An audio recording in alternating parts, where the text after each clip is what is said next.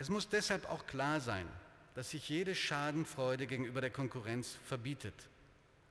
Eins dürfen wir nie vergessen, wenn eines der großen Qualitätsblätter in Deutschland, ich nenne jetzt nur mal unsere schärfsten Konkurrenten, die Süddeutsche, die FAZ oder den Spiegel, wenn also eine dieser Zeitungen existenzielle Probleme bekommt, dann haben wir alle ein existenzielles Problem. Es würde bedeuten, dass wir Zeitungen aus der Zeit gefallen wären, schlimmer noch, dass Qualität keinen Markt mehr hätte.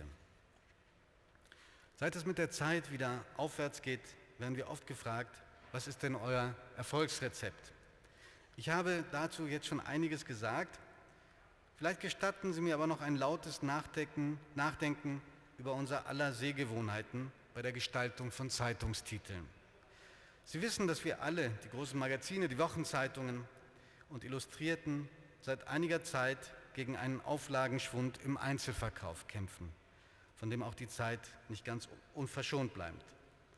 Und wir sind auch schnell mit Erklärungen, woran das liegen könne. Die beliebteste ist, wir würden uns mit unserem Internetangebot selbst Konkurrenz machen und damit die Kernmarke kannibalisieren. Die andere ist, dass die letzte Preiserhöhung zu hoch gewesen sei. Die dritte, dass die Große Koalition das Interesse an politischen Stoffen töte.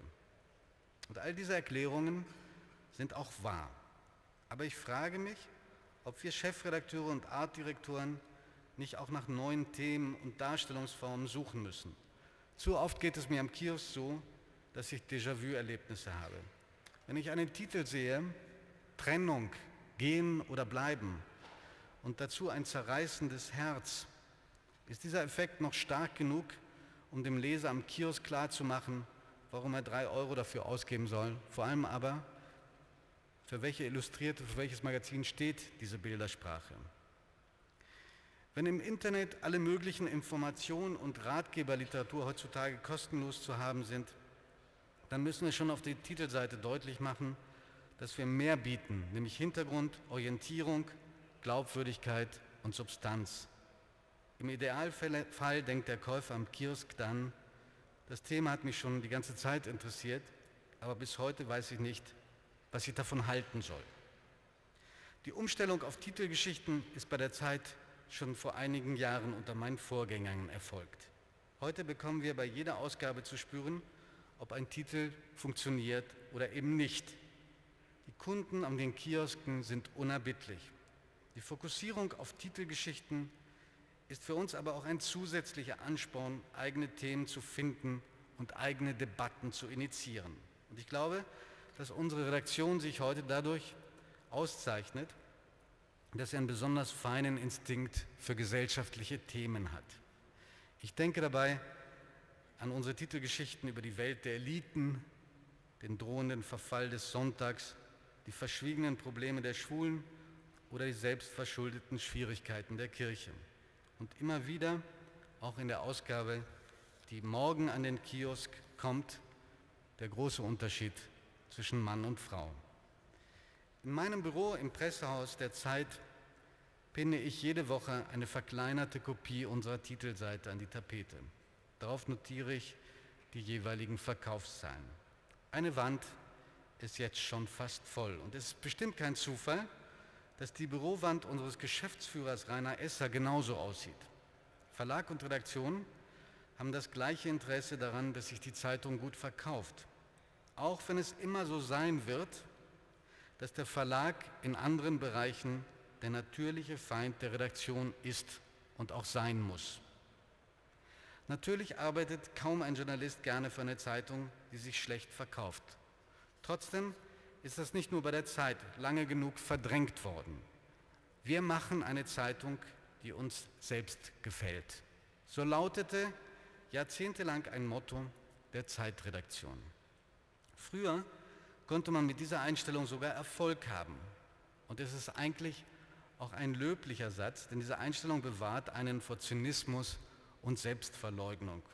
Und sie beugt einem Journalismus vor, der nur gefällig und populär sein will. Trotzdem hat dieses Motto seine Geltung verloren. Zum einen, weil es heute keinen Grund mehr gibt für das Misstrauen gegenüber den Lesern, die man nach der Nazizeit auch erziehen wollte. Zum anderen, weil so ein Motto ein Freibrief ist für eine Schwäche, die in unserer Branche ohnehin schon sehr verbreitet ist, nämlich für eine fürchterliche Selbstbezogenheit. Liebe Kolleginnen und Kollegen, vielleicht müssen wir alle lernen, trotz der jüngsten bitteren Erfahrungen in der Zeitungsbranche auch wieder neuen Mut zu schöpfen. Denn wie sollen wir unseren Lesern klarmachen, dass Zeitungslesen auch Freude macht, wenn wir selbst permanent in Angststarre verfallen? Jedenfalls besteht überhaupt kein Anlass, irgendwelche Tanten zu schlachten. Lassen Sie mich also das Lied von Franz Wedekind, das ich eingangs zitiert habe, zum Schluss noch einmal vortragen, allerdings in leicht abgewandelter Form. Dabei kann ich nur von Glück sagen, dass keiner hier ist, der es weitererzählt, denn die Kollegen von der Literaturredaktion der Zeit würden meine Dichtkunst in der Luft zerreißen. Andererseits hoffe ich, dass ich mit einem Helmut Karasek, der neulich in der Bildzeitung eine Ode an bedrohte Wörter zu Papier brachte, vielleicht gerade noch mithalten kann. Hier also das aktuelle Tantengedicht frei nach Franz Wedekind. Wir haben die Tante geliftet, man nennt sie jetzt modern. Seit wir ihr die Frischkur gestiftet, liest man uns selbst beim Stern. Und doch ist's unsere Tante, die Stimme, die Augen, das Herz, die Zeit, wie man sie kannte. Was fehlt, ist bloß der Nerz. Wir wurden von manchen verachtet für diese Verjüngungsschmach. Ihr aber, o Leser, ihr trachtet der blühenden Jugendnacht. Vielen Dank.